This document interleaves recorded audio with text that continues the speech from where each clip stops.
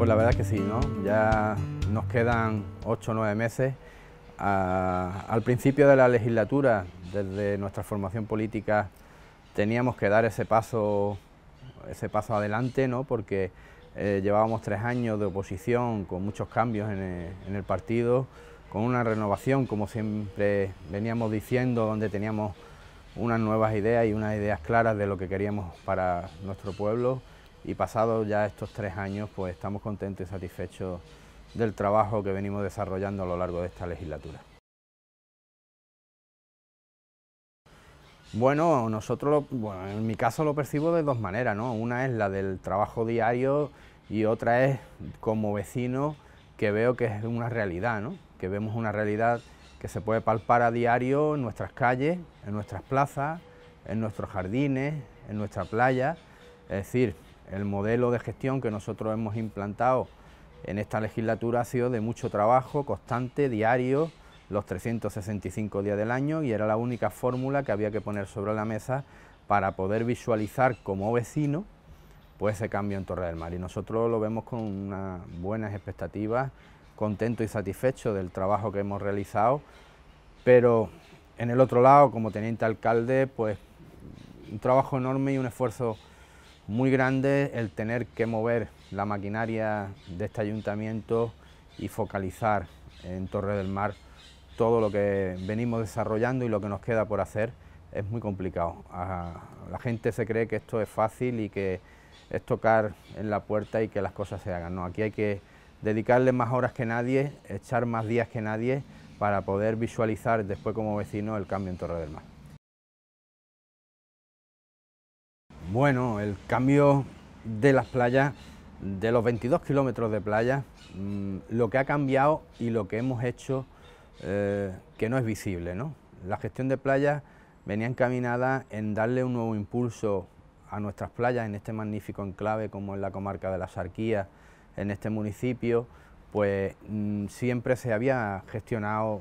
pienso yo, y así lo puedo decir, de espaldas al mar. ¿no?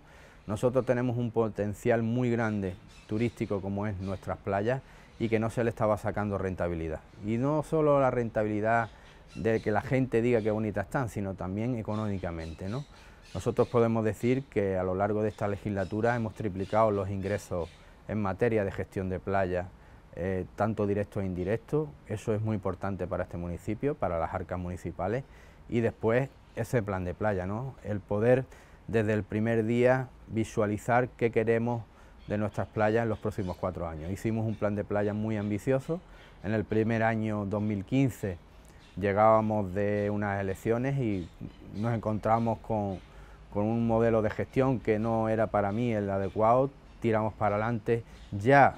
en ese propio 2015 hicimos un esfuerzo y un trabajo enorme poniendo a disposición de la delegación mm, pues muchos materiales nuevos como por ejemplo quiero recordar pasarela, los cubres, los vestidores y, la petición ya de poder tener esas playas, el servicio de limpieza de, de papeleras, pues tres veces al día, eso lo pusimos en el primer año y a, partir de ese invierno recuerdo que el trabajo fueron de muchas tardes, muchos días y noches para poder desarrollar uno de los mejores planes de playas que hay en Andalucía y que somos referentes y que muchos pueblos de esta costa malagueña y andaluza se han basado también y han mirado con buen ojo los planes de playa de Belén Málaga. Sí, bueno, y la propia prensa provincial lo dice y, en las propias reuniones que mantenemos con la demarcación de costa y, han sido tres años duros de un azote de unos temporales muy fuertes, donde vemos cómo va regresando la, regresando ¿no? lo que es la playa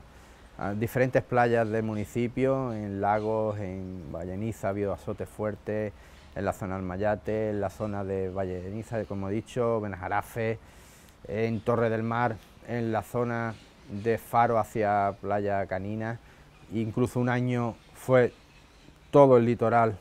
eh, de, nuestra costa donde hubo un azote impresionante que hacía más de 20 o 30 años que no se había visto y donde nos hicieron hacer un esfuerzo enorme, un trabajo que tú vas desarrollando durante todo el año, cuando va llegando los meses de recuerdo, abril, eh, marzo, abril, incluso mayo, pues nos encontrábamos con las playas destrozadas y teníamos que volver a, trabajar duramente para ponerlas en perfecto estado. Eso eh, visualmente mm, se ve, pero detrás de eso hay mucho trabajo de papeleos porque al final las playas eh, no son nuestras, intervienen en los informes también medio ambiente, demarcación de costas y cada actuación hay que coordinarla en perfecto estado. Y eso es un trabajo muy grande, eh, conjunto con desarrollar y desplegar las autorizaciones de temporada, los servicios de temporada, los planes de playa, es decir, ordenar lo que aquí, en esta, en esta delegación, pues para mi punto de vista nunca estuvo ordenado ni... Eh, no digo legalmente, sino bien ordenado para que todo esto eh, tuviera una repercusión importante en el municipio. Sí, nosotros la idea que van naciendo en el año 2016 son muchas y, y tantas ideas en la mesa había que ordenarlas y de alguna manera salió la playa tematizada y de ahí las playas tematizadas, porque eh, la peculiaridad de este municipio es que tenemos más pueblos de costa, no solo eh, Torre del Mar, Benajarafech, Valleniza, eh, Chilche, Lagos, Almayate, Caleta, Mezquetilla, es decir, teníamos que hacer un plan de playa ambicioso donde a lo largo de, esta legislatura pudiéramos desarrollar pues, muchas de las cosas que se habían puesto sobre la mesa. Y de ahí surge tematizar las playas, que tenemos que seguir avanzando a lo largo de los próximos años. Creo que este modelo de gestión funciona, el que esté debería desarrollarlo y ampliarlo y nosotros, ese es nuestro trabajo el que vamos a proponer. Y, es un plan mucho más ambicioso donde esta, cosa, esta costa del sol eh, no se miraba con tan buenos ojos en materia de playa y hoy podemos decir afortunadamente que tenemos una de las mejores playas de Andalucía, y en servicio pienso que no nos gana nadie porque somos un municipio, aunque es grande, 80.000 habitantes, pero hay capitales de provincia, en Andalucía, está Málaga y hay ciudades potentes con un presupuesto que nos triplica, aunque alguna gente creen aquí que no hemos gastado mucho dinero, eso los datos los daremos todos. Nosotros lo que hemos hecho mucho esfuerzo, mucho trabajo y mucha imaginación, porque tematizar las playas no ha costado un duro, sino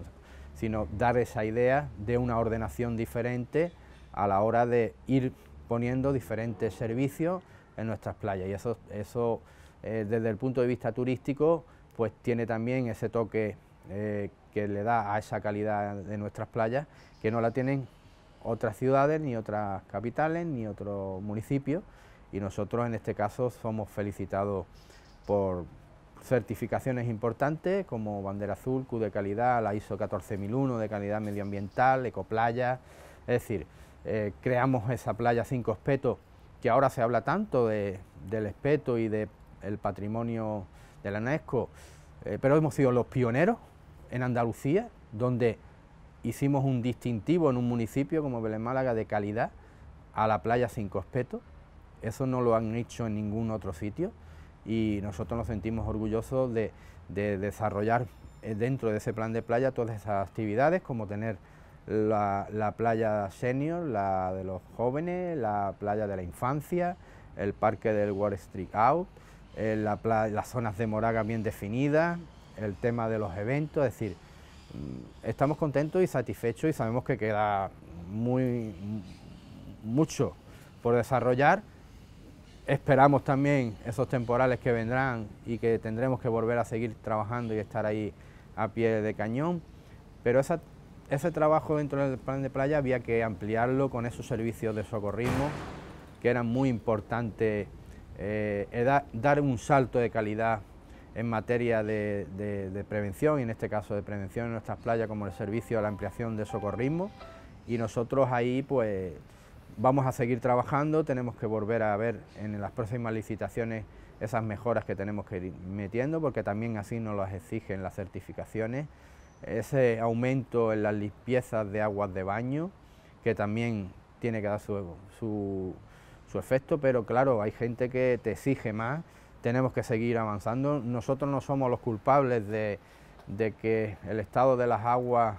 a nivel mundial están como están, ese eh, de, chatarras en los mares y, de plásticos que tenemos, no somos responsables solo el municipio de Málaga, esto es algo mucho más grande, pero nosotros sí hemos aportado ese granito de arena que es un coste enorme en, algo que no tenemos competencia y que sí ponemos ese dinero al servicio del ciudadano para tener el mejor estado de nuestras aguas de baño, con sus analíticas eh, que nos exigen las certificaciones que son positivas siempre para el baño es verdad que en verano, pues por las mareas y las corrientes, pues vienen algunas veces esa espuma que dicen algunos que, bueno, que mm, incluso la Universidad de Málaga dicen que parte de ella es de nuestra orografía y de ese terreno arcilloso que crea con la calor esa espuma blanca en el agua. Eh, pero nosotros hemos hecho un, un enorme esfuerzo en estos tres años con ese aumento de dos horas y de más embarcaciones.